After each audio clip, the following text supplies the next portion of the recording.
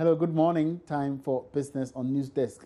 Flag bearer of the new Patriotic Party, NPP, Nana Akufo-Addo, has underscored the need for the establishment of an industrial fund and an urgent recapitalization of the National Investment Bank, NIB, as critical to the country's industrialization agenda. This, according to him, is the only way Ghana's economy could be restored. As Ghana prepares for a general election in December, Political parties have, among other things, been spelling out their policies towards resuscitating the economy. Speaking at the annual general meeting of the Ghana Employers Association, Nana Addo said retooling industry is critical for economic recovery. Establishing an industrial development fund as an omnibus fund to finance critical industrial support interventions.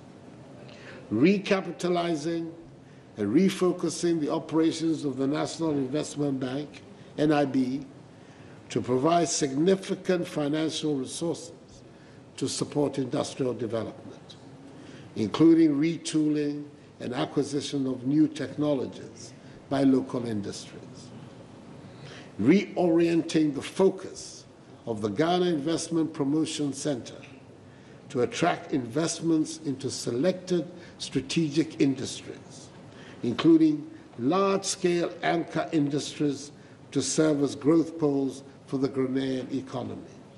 Petrochemical, iron and steel, cement, integrated aluminum and bauxite, industrial salt, vehicle assembly, manufacturing of machinery, equipment, and machine parts. On his part, flag bearer of the Progressive People's Party PPP, Dr. Papa Kwesi Nduom, says indigenizing the economy would be one of his party's major policy directions towards economic growth. One of the things that we have said a PPP administration will do, one of the first things, is to come up with a regulation that no organization funded by the states should buy anything that is imported when that item is produced in Ghana. Straight away. Don't care about WTO. WTO exists.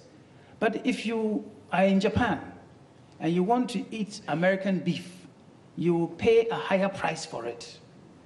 WTO exists, but if you go to Korea and you want to ride in a Mercedes Benz, you will pay a higher price for it. And that is why over 90% of the cars in Korea are made in Korea. Because that's what we will do. And I'm not just talking about rice. I'm not just talking about sugar or anything like that. I am also talking about contracts for construction and those things that take professional competence to do. We're talking about all of those kinds of things. So if we can produce it in Ghana, it will be, it, it will be provided by what is produced in Ghana, plain and simple. And that's it for business. Join me again at midday for more business news updates. Meanwhile, you can get more business news or business stories when you log on to myjoyonline.com slash business. My name is Imano Abwaji Riafi. Good morning.